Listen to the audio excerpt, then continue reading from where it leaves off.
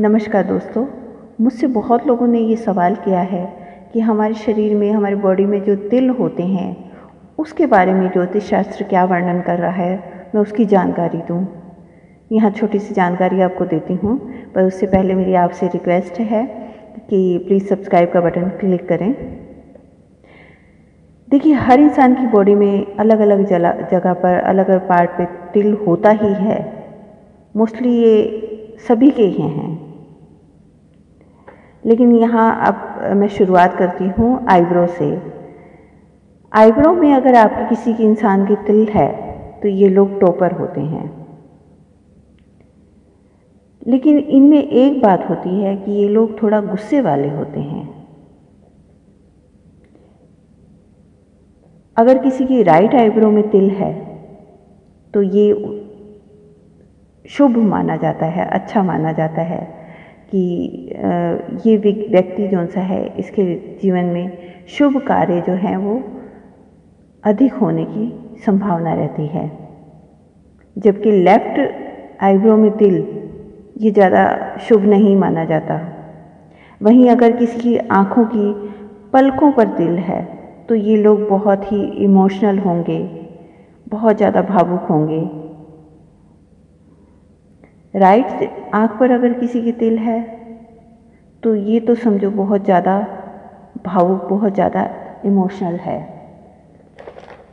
इसके साथ अगर किसी की आँखों में आ, राइट आँख में राइट साइड की आँख में तिल होता है तो ये लोग बहुत भाग्यशाली माने जाते हैं।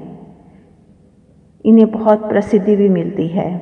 किसी के कानों पर अगर तिल है तो ये शुभ भी माना जाता है।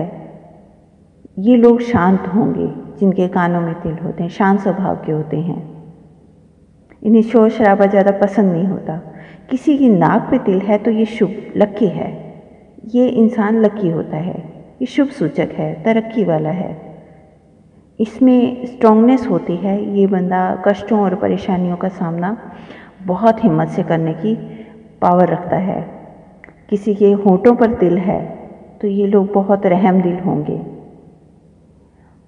और, लेकिन इनकी थोड़ी सी प्रॉब्लम रहेगी कि इन लोगों के थोड़ा सा धन का अभाव रह सकता है। किसी के गाल पे लेफ़्ट गाल पर तिल है तो ये लोग अमीर हो सकते हैं, इन्हें हर सुख मिल सकता है। वहीं किसी के मुँह के पास तिल है, मुँह में तिल है, इनका लाइफ पार्टनर जो है, इन्हें बहुत ही शिष्ट मिलेगा। शिष्ट यानी सभ्य स्वभाव का मिलेगा। किसी की ठोड़ी पर तिल है तो ये लोग ज़्यादा सोच विचार में अपना टाइम लगाने वाले होंगे।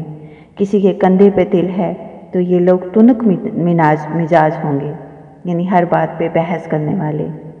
किसी की बाजुओं में तिल है तो ये लोग प्रतिष्ठित होते हैं बुद्धिमान होते हैं। किसी की दाई हथेली पे तिल है तो ये लोग बहुत शक्तिशाली होते हैं।